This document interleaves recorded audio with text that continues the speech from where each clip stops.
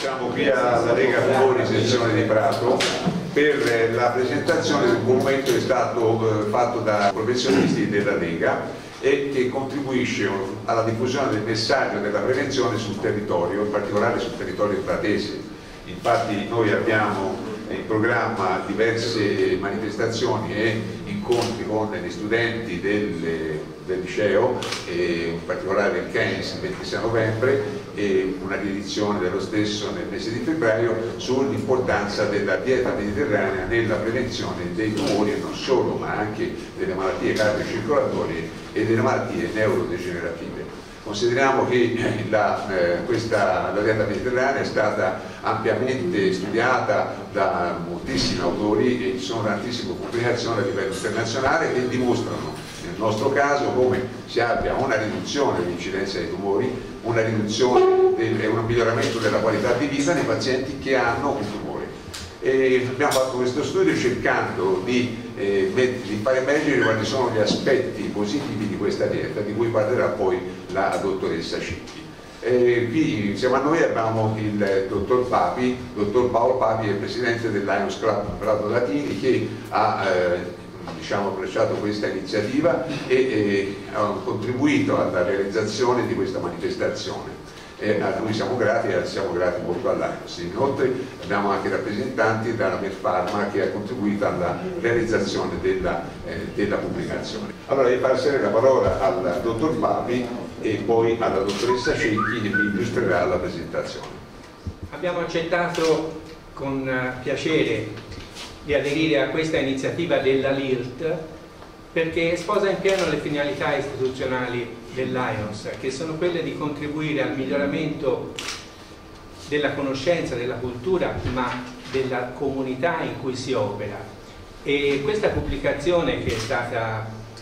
prodotta dalla LIRT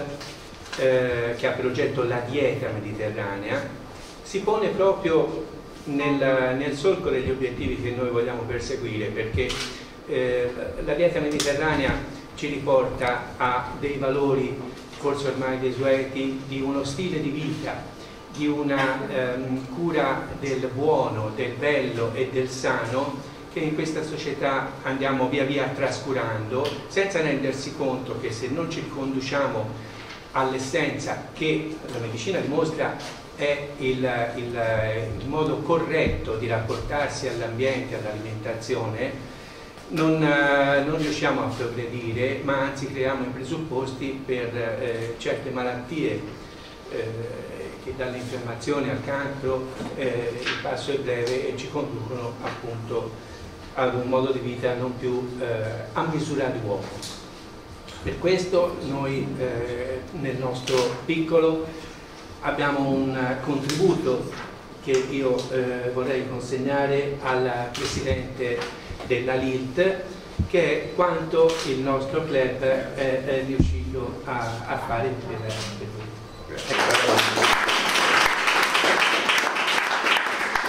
Allora, a questo punto passerei la parola alla dottoressa Cecchi che ci illustrerà la pubblicazione che stata edita dal dottor Zerbinati della Patergraph è una pubblicazione che è cartacea ma fondamentalmente nasce per essere diffusa attraverso il web, quindi attraverso internet eh, come PDF, quindi chi eh, vorrà domani eh, scaricare la pubblicazione lo potrà fare e i proventi andranno alla Lega Tumori sì, allora questa pubblicazione è stata progettata e scritta in massima parte dal dottor Benelli con il contributo delle dottoresse Bartolozzi, che è un medico nutrizionista, della dottoressa Ramundo, che è una dietista, e dalla sottoscritta, sono una biologa. Allora qui vediamo che il 25% dei tumori maligni sono dovuti all'infiammazione cronica, in altre parole, le persone che hanno un'infiammazione cronica hanno un rischio maggiore di incorrere in una malattia tumorale.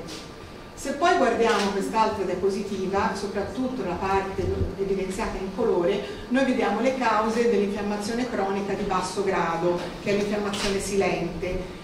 E Alcune delle cause sono appunto la dieta ipercalorica, con la conseguenza del sovrappeso, dell'obesità, il diabete, la sindrome metabolica, altre situazioni di disfunzione ormonale, ma anche la vita sedentaria o l'eccessiva attività fisica. Riepilogando, qui abbiamo una mm, statistica che ci dice che il 20% di tutti i tumori sono dovuti a infezioni croniche, il 30% al fumo di tabacco e altri fattori ambientali quali l'esposizione a radiazioni o altre sostanze oncogene, ma ben un 35% dovuta a fattori alimentari. Purtroppo oggi si sta diffondendo questa cultura che non è la nostra di un cibo eh, molto ricco in calorie, mh, mm, un cibo a base soprattutto di carni e, e grassi, che tra l'altro spesso è preparato nel, in modo non salutare e che secondo appunto il professor Veronesi è causa di 3 tumori su 10, cioè un cibo ipercalorico ma privo spesso di elementi eh, nutritivi importanti e addirittura contenente elementi eh, e sostanze dannose, il cibo spazzatura appunto. Noi invece proveniamo da un altro tipo di cultura, perché la dieta mediterranea che si è sviluppata appunto nei paesi del Mediterraneo fin dai tempi più remoti, è una dieta che è stata dimostratamente insomma, una dieta antinfiammatoria e che è quindi in grado di proteggerci da malattie tumorali e non solo, perché anche ha effetti sulle, sulla protezione delle malattie cardiovascolari e neurodegenerative. Bene, allora la pubblicazione è grosso modo divisa in quattro parti, affronta vari argomenti. Nella prima parte si ha una storia della dieta mediterranea con, eh, considerando anche gli aspetti antropologici e eh, l'impatto che questa dieta ha sull'ambiente. Poi abbiamo una parte in cui si esaminano gli alimenti della dieta mediterranea con i loro macronutrienti e micronutrienti e l'azione che queste sostanze hanno nei meccanismi appunto di prevenzione e di protezione. E poi nell'ultima parte abbiamo degli approfondimenti in cui si ha proprio un'analisi dettagliata dei meccanismi molecolari che ehm, concorrono eh, in questa azione positiva della dieta mediterranea. Dunque, la dieta mediterranea, come dicevo prima, nasce ben moltissimi secoli fa, perché già si può risalire addirittura alla civiltà minoica, però, fatto abbastanza particolare, è stata riscoperta da questo professor Ansel Keys, che è un medico statunitense, che fu, raggiunse la notorietà sì, prego, negli Stati Uniti perché allo scoppio della seconda guerra mondiale si occupò della famosa razione K che era una razione essenziale con le calorie giuste da, eh, che prendeva anche poco posto insomma che venne data inizialmente studiata per i paracadutisti in missione ma poi fu estesa a tutti i corpi dell'esercito americano appunto. Allora il dottor Case dopo la guerra ehm, voleva, decide di studiare la motivazione per la quale la popolazione americana stava presentando delle patologie nuove e quindi più che altro, cioè patologie che prima erano più rare ma si stavano invece diffondendo, si sta parlando di malattie cardiovascolari e quindi soprattutto dell'infarto. E allora mm, studiando prima il problema in America, eh, poi eh, si trovò a partecipare a una conferenza della FAO a Roma e qui scoprì che in Italia queste malattie non erano ancora molto diffuse e quindi questo lo incuriosì e decise di studiare il problema e venne in Italia, soprattutto iniziò i suoi studi a Napoli, studiò su gruppo, gruppi di riferimento di persone di classi sociali diverse, indagando sui tassi ematici di colesterolo e sul tipo di vita che queste persone appunto avevano, sul tipo di alimentazione. Questi studi furono poi estesi anche in altre parti d'Italia, poi in Spagna, in Grecia e confrontando i dati che venivano fuori tra tutte queste indagini si evidenziò che i tassi ematici di colesterolo si potevano correlare con le abitudini di vita e che una dieta poco ricca di grassi animali e ricca invece di grassi vegetali sembrava avesse un'azione protettiva e Ansel Keys scrisse diversi libri, in, in America acquistò ulteriore notorietà, tanto che qui abbiamo la copertina del Time, gli fu dedicata nel 1961, uomo dell'anno proprio. Nel frattempo in Italia eh, si stabilì eh, sulle coste del Cilento, in questa cittadina Pioppi, che era un borgo di pescatori, e quindi a Pioppi poi lui eh, trascorse molti anni della sua vita, tanto che eh, aveva creato insomma, a Pioppi una comunità anche internazionale di studi sulla dieta mediterranea. E questa cittadina è rimasta un po' il, la, la, cittadina simbolo, tanto che lì si svolge annualmente il Festival della Dieta Mediterranea ed è stata eh, individuata dall'UNESCO perché forse voi sapete che la dieta mediterranea nel 2010 è stata iscritta nel patrimonio immateriale dell'umanità e la cittadina di riferimento in Italia è proprio la cittadina di Pioppi.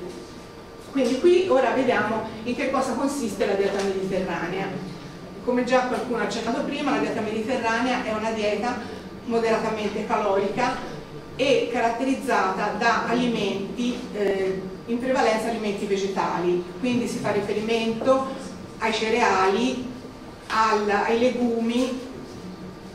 alla, mm, come condimento l'olio d'oliva, quindi è una dieta che considera molto i prodotti del, del luogo, una dieta che considera anche la, la stagionalità. Inoltre eh, si deve fare,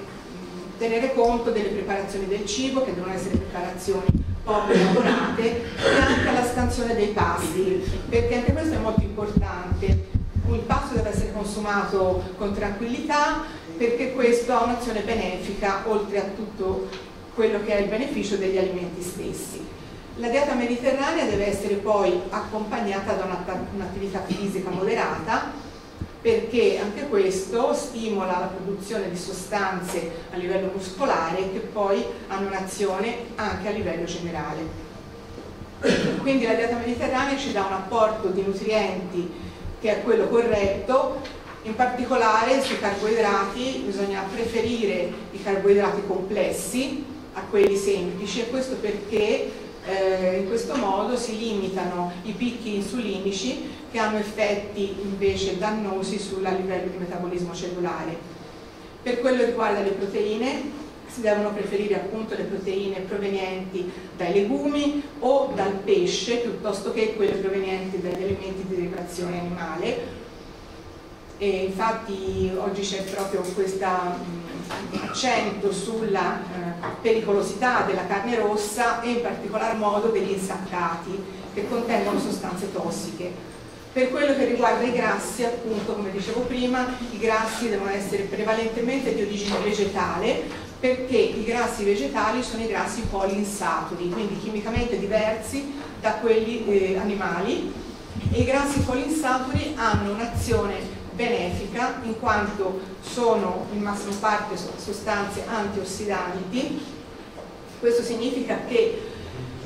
si eh, limita la produzione di quelli che sono i radicali liberi che hanno un'azione tossica a livello cellulare perché stimolano una serie di reazioni che portano a danni cellulari e invece gli acidi grassi, soprattutto gli omega 3 che sono presenti nel pesce azzurro, sono grassi che hanno un'azione protettiva, quindi antinfiammatoria e antitumorale.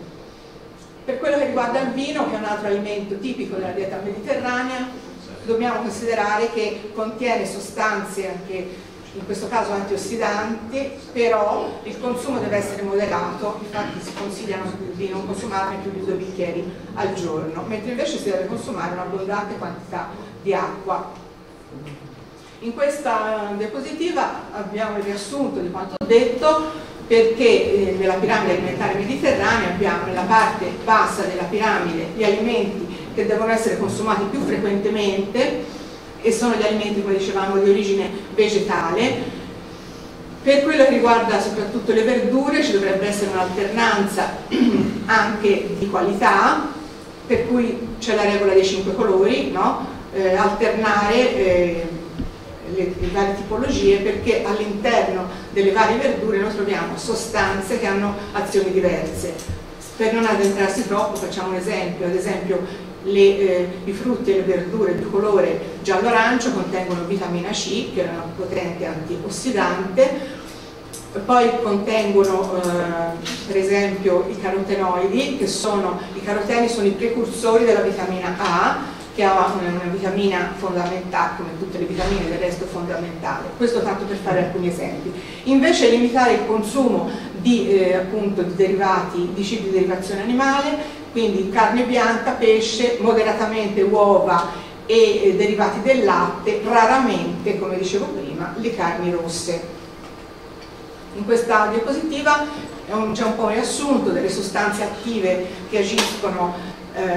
all'interno delle nostre cellule e che sono spiegate in modo molto più dettagliato, come dicevo prima, nella prima parte del testo. Eh, nella dieta mediterranea eh, ci sono alimenti che hanno un'origine antica come la teria dei cereali eh, olio e vino, ma ci sono anche elementi che si sono aggiunti successivamente, per esempio gli agrumi che vengono, ci sono venuti con la dominazione degli arabi o altre piante che vengono invece dalle Americhe, come per esempio i pomodori, le melanzane e i peperoni.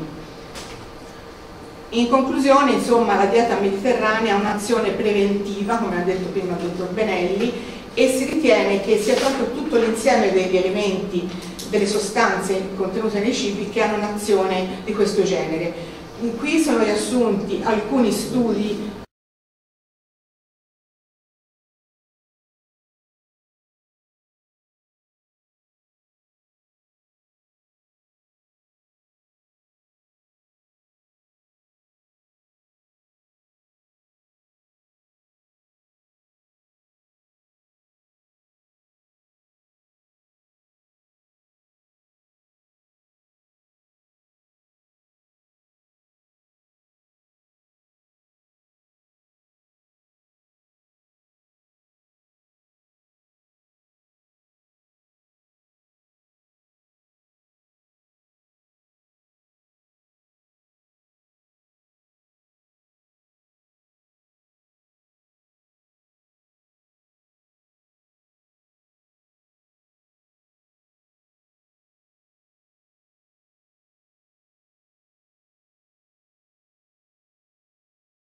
Ecco, chiuderei con questo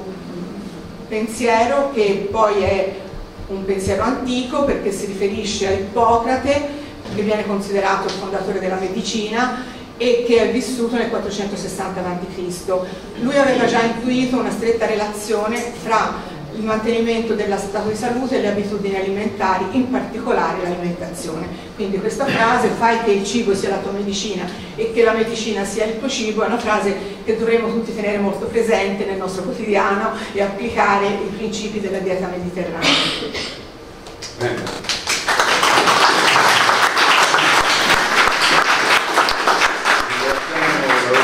segni, chi vorrà saperne di più dovrà scorrere quelle pagine molto dense della pubblicazione dove abbiamo cercato di vedere i meccanismi di biologia molecolare che eh, sostengono questi, questi dati clinici di riduzione di incidenza di tumori o di progressione dei tumori.